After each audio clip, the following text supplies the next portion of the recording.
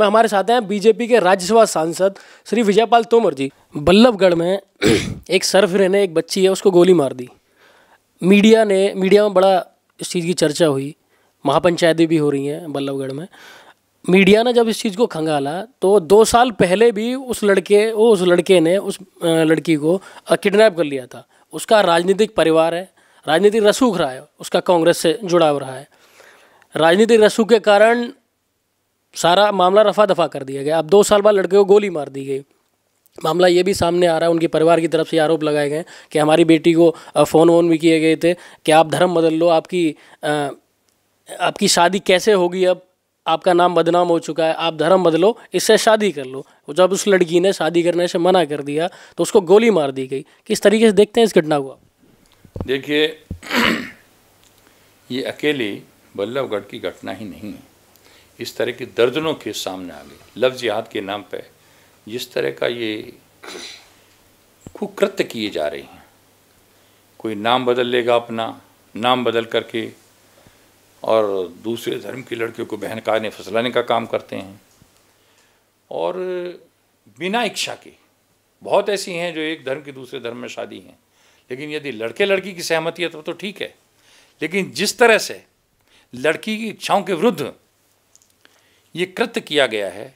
इसमें मैं तो यही चाहता हूँ कि सरकार ने जाँच बैठाई है, एसआईटी उसका जाँच कर रही है। सख्त कानून बनाए, उत्तर प्रदेश की सरकार ने कहा है हरियाणा की सरकार ने भी कहा है, लव जिहाद के खिलाफ सख्त कानून बनाइएगा।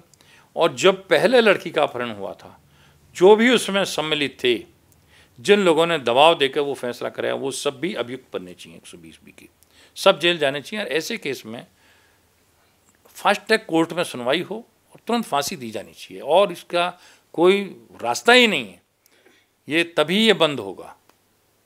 ये इससे घटिया काम, निंदनीय कार्य हो नहीं सकता जो इस लड़की के साथ हुआ सर, एक सवाल हो रहा है कि हाथरस में अभी कुछ दिन पहले एक घटना हुई थी। वहाँ एक लड़की को मार दिया गया था।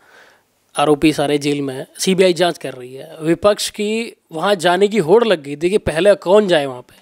आम आदमी पार्टी से लेकर राहुल गांधी, सोन प्रियंका गांधी हों या टीएमसी के जो तमाम सांसद हैं, सबकी एक तरीके से लाइन लग गई थी वहाँ पे होड़ सी मची थी कि पहले सबसे पहले कौन जाए। बगल में दिल्ली के बल्लभगढ़ है। अभी तक कोई भी विपक्ष का बड़ा नेता उस लड़की के घर नहीं गया, उसके पीड़ित परिवार के साथ नहीं गया।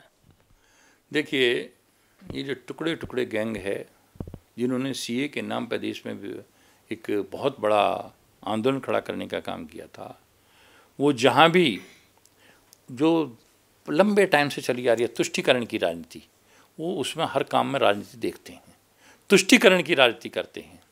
और उनको केवल हाथरस की घटना दिखाई दी, राजस्थान की घटना दिखाई नहीं दी। उनको बलरामपुर गोंडा में, क्योंकि वहाँ पर मुस्लिम लड़का था और हिंदू लड़की थी, वहाँ कोई नहीं गया। यहाँ नहीं आया क्योंकि तौफीक ने गोली मारी।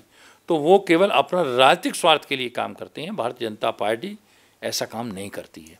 भारतीय जनता पार्टी ने वहाँ हाथरस में भी सबसे पहले वहाँ के मुख्यमंत्री ने कहा कि हम इसको सीबीआई को भेजने की बात करते हैं और सीबीआई भी सुप्रीम कोर्ट की निगरानी में कराए। ये सुप्रीम कोर्ट में कहा है।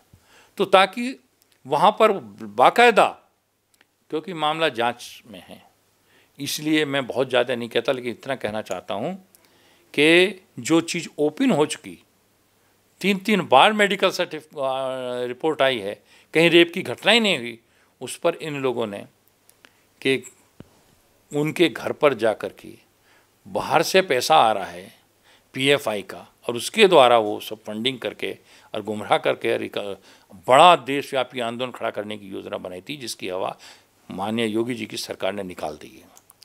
ये केवल हर जगह राजनीति देखते हैं तुष्टिकरण की राजनीति करनी है, एक वर्ग विशेष की वोट को खुश करने के लिए काम करते हैं। ये न्याय की या महिलाओं की रक्षा की बात कभी सोच ही नहीं रहे कि मोदी जी कहते हैं, सबका साथ, सबका विकास, सबको न्याय मिलना चाहिए। क्यों नहीं राजस्थान की घटनाएँ ने दिखाई दी? क्यों नहीं बल्लभगढ़ की घटना दिखाई दे रही? क्यों नहीं ये वहाँ जा रहे? मैं पूछना चाहता हूँ, कहाँ हैं आप पार्टी के नेता? कहाँ हैं तृणमूल के नेता जो हाथरस तक जा रहे थे? कहाँ गए अब राहुल और उनकी बहन प्रियंका? ये जो अपने राष्ट्रीय अध्यक्ष रहे हैं माने राहुल गांधी जी, प्रियंका जी, वो क्यों नहीं जाते वहाँ? क्यों? क्योंकि तौफीक नाम जुड़ा हुआ है, कांग्रेस से जुड़ा हुआ है। उनको इस बात के लिए, मैं तो कहता हूँ, इससे बड़ी शर्म की बात क्या होगी? इस लड़के का ग्रैंडफादर कांग्रेस का विधायक था, नेता था, सांसद रहा है। इसका चाचा एमएलए है। तो ये क्यों इसीलिए नहीं जा रहे? कांग्रेस वाले कुछ भी करें, इसके लिए छूट है। और सब पार्टी वहाँ गोलबंद होकर जाएँगी हाथरस यहाँ कोई नहीं आएगी। तो ये तुच्छ राजनीति का सबसे बड़ा उदाहरण है। सर, लव जिहाद का जो मुद्दा है समय समय पर उठता रहता है। अभी हरियाणा में एक और मामला कुछ लव जिहाद से जुड़ा हुआ था। नाम कुछ अलग था लड़के का, वो लड़की को भगा के ले गया और उसका खून कर दिया। अभी मीडिया में चल भी रहा है। समय समय पर ये लव जिहाद का मुद्दा देश के अंदर उठता रहता है। क्या कड़े कानून उठाए जाएँ? क्या कड़े कानून बनाए जाएँ? इसको रोकने के लिए आप क्या सोचते हैं? अभी उत्तर प्रदेश हरियाणा सरकार ने कहा है इसमें कानून बनाने के लिए। और कानून तो देखिए, आज भी कानून में कहीं कोई वो नहीं है।